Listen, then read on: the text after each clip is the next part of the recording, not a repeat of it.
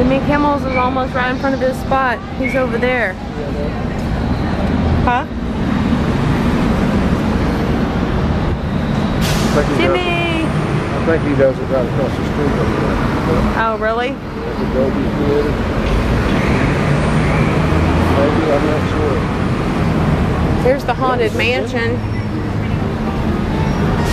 Does it look Jimmy Kimmel?